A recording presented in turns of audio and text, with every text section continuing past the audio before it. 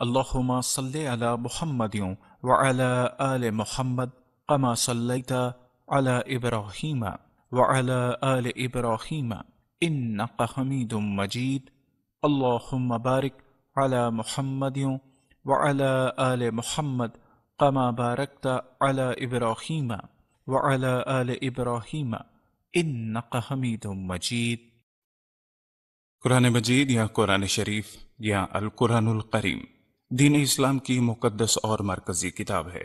ये वो कलाम इलाही है, जो अल्लाह ताला ने अपने प्यारे नबी सल्लल्लाहु अलैहि वसल्लम पर वही के ज़रिए से नाजल किया। ये वही अल्लाह ताला के मुकरब फरिश्ते हज़रत जब्राईल सलाम लाते थे।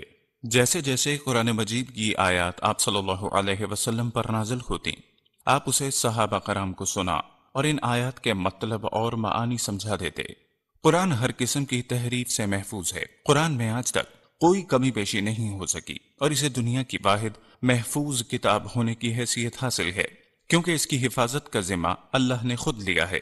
कुरान मजीद के कुल तीस पारे हैं और इसकी एक सौ चौदह सूरतें हैं और हर सूरत में अल्लाह रब्बुल करीम ने इंसानों को ज़िंदगी की गाइडलाइन दी है और इनकी रहनुमाई फरमाई है।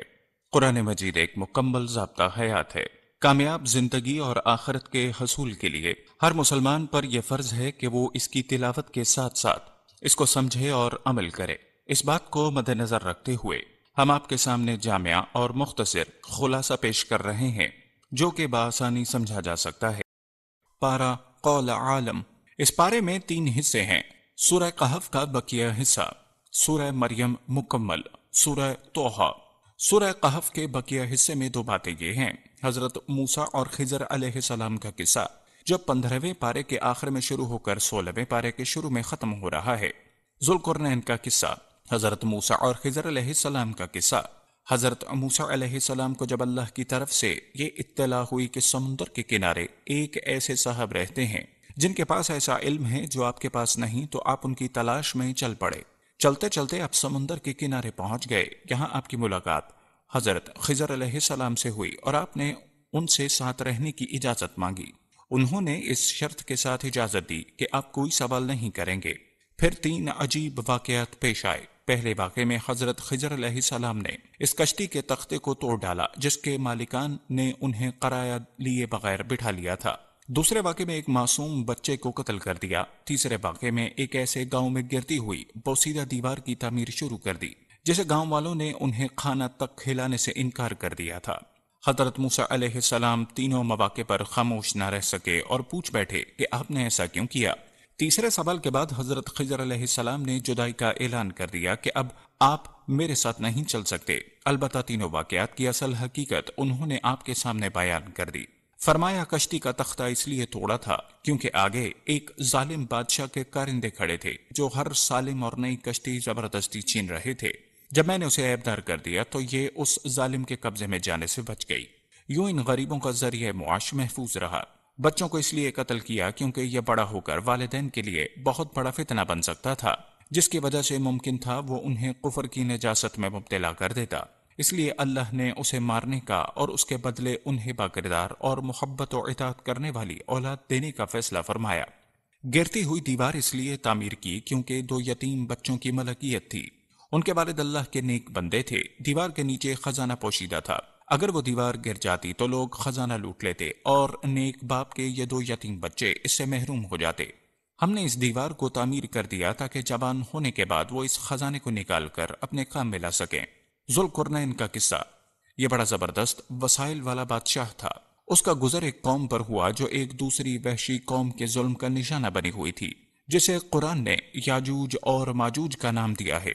जुलकुरनैन ने याजूज माजूज पर दीवार चुन दी अब वो कुर्ब कयामत में ही ज़ाहिर होंगे। सूर्य मरियम में तकरीबन ग्यारह अम्बिया सलाम का तस्करा है। तीन अम्बिया कराम सलाम का ज़िक्र कदर तफसीली है। हज़रत याहिया की विलादत। अल्लाह ताला ने जकरिया और उनकी अहलिया को बुढ़ापे में बेटा अदा फरमाया, जिसे नबूवत से भी सरफराज फरमाया। हज़रत ईसा सलाम की विलादत। अल्लाह ताला ने हज़रत ईसा को बगैर बाप के पैदा फरमाया और उन्हें बचपन में ही गोयाई अता फरमाई। हज़रत इब्राहिम सलाम की अपने वालिद को दावत, शिरक ना करें, अल्लाह ने मुझे इल्म दिया है। मेरी बात मान लें, शैतान की बात ना माने, वो अल्लाह का नाफरमान है। उसकी बात मानेंगे तो अल्लाह का आजाब आएगा। बाकी आठ अम्बिया कराम सलाम का या तो बहुत मुख्तसर ज़िक्र है या सिर्फ़ नाम आया है। हज़रत मूसा सलाम, हज़रत हारून सलाम। हज़रत इस्माईल सलाम, हज़रत इसहाक सलाम, हज़रत याकूब सलाम, हज़रत इदरीस सलाम, हज़रत आदम सलाम, हज़रत नूह सलाम। सूरत तोहा में तीन बातें ये हैं। तसली रसूल, हज़रत मूसा सलाम का किस्सा, हज़रत आदम सलाम का किस्सा। तसली रसूल, नबी सल्लल्लाहु अलैहि वसल्लम, कुरान की तिलावत और दावत दोनों में ही बेपना मुशक्कत उठाते थे। रातों को नमाज़ में इतनी तवील करत फरमाते के पाँव मुबारक में वरमा जाता और फिर इंसानों तक कुरान के अबलाग और दावत में भी अपनी जान जोखों में डालते थे। और जब कोई इस दावत पर कान न धरता तो आपको बेपनाह कम होता। इसीलिए अल्लाह ताला ने कई मुकाम पर आपको तसल्ली दी है। यहाँ भी यही समझाया गया कि अब अपने आप को ज़्यादा मुशक्कत में न डालें। इस कुरान से हर किसी का दिल मुतासर नहीं हो सकता। ये तो सिर्फ़ उस शख्स के लिए नसीहत है, जो दिल में अल्लाह का खौफ रखता है। हज़रत मूसा सलाम का किस्सा। हज़रत मूसा सलाम के जो हालात इस सूरत में बयान किए गए हैं, उनको जहन नशीन करने के लिए चंद उनवानात कायम किए जा सकते हैं। यानी बारह के साथ शर्फ हम कलामी, दरिया में डाला जाना, ताबूत का फिर को मिलना, पूरी इज़्ज़त और एहतराम के साथ रजात के लिए हकीकी वालदा की तरफ़ आपको लौटा देना। आपसे एक कुबती का कत्ल होना, लेकिन अल्लाह का आपको किसास से निजात दिलाना। आपका कई साल मदियन में रहना अल्लाह की तरफ़ से आपको और आपके भाई, हज़रत हारून सलाम को फिरौन के पास जाने का हुक्म। फिरौन के साथ मुआवजा हसना के असूल के तहत मुबाहिसा, उसका मुकाबला करने के लिए जादूगरों को जमा करना। हज़रत मूसा की फतेह, साहिरों का कबूल ईमान रातों रात बनी इसराइल का अल्लाह के नबी की क़यादत में मिस्र से खरूज। फिरौन का मा लाओ लश्कर तकुब और खलाकत अल्लाह की नेमतों के मुकाबले में बनी इसराइल का नाशुक्रापन, सामरी का बछड़ा बनाना और इसराइलियों की जलालत। तौरात लेकर हज़रत मूसा की तौर से वापसी और अपने भाई पर गुस्से का इजहार, हज़रत हारून सलाम का वजाहत करना वगैरह। हज़रत आदम सलाम का किस्सा, अल्लाह ताला ने हज़रत आदम सलाम को पैदा फरमाकर मसजूद मलाइका बनाया। सब फरिश्तों ने सजदा किया मगर शैतान ने सजदा करने से इनकार कर दिया। अल्लाह ताला ने हज़रत आदम सलाम से फरमाया, अब यह तुम्हारा और तुम्हारी बीवी का दुश्मन है। जन्नत में रहो, यहाँ आराम ही आराम है। न तुम भूखे होते हो, न नंगे, न प्यासे होते हो, न धूप से तकलीफ़ उठाते हो। बस फला दरख्त के करीब ना जाना। मगर शैतान ने वसवसा पैदा किया। हज़रत आदम सलाम ने शजर ममनू में से कुछ खा लिया। अल्लाह ने उन्हें जन्नत से निकाल दिया। दोनों ने अल्लाह से मुआफी मांगी और अल्लाह ने उन्हें मुआफ कर दिया। मेरे प्यारे दोस्तों, अच्छी चीज़ दूसरों को पहुंचाना सदकाए जारिया है सदकाए जारिया से मुराद वो अमल जिसका सवाब मौत के बाद भी जारी रहता है। दोस्तों, इस्लाम में नेकियाँ समेटना कोई मुश्किल बात नहीं। अल्लाह ताला अच्छी नीयत पर भी नेकियाँ अदा करते हैं। जब अल्लाह करीम अच्छी बात दूसरों को पहुँचाने का अजर बंदे को अता करते हैं तो सोचें, अगर आप अल्लाह की प्यारी किताब पाक को लोगों तक पहुंचाएँगे तो इसका कितना अजर होगा? आजकल के इस जदीद सोशल मीडिया दौर में फेसबुक और व्हाट्सएप के ज़रिए आप बासानी लाखों लोगों तक एक सेकंड में अपना पैगाम पहुँचा सकते हैं। तो सोचें आपको अल्लाह ताला उस पर कितना अजर देंगे।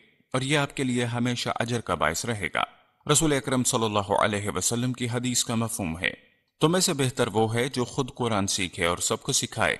तो दोस्तों, आप भी इसमें अपना हिस्सा ज़रूर डालें और लिंक शेयर करें।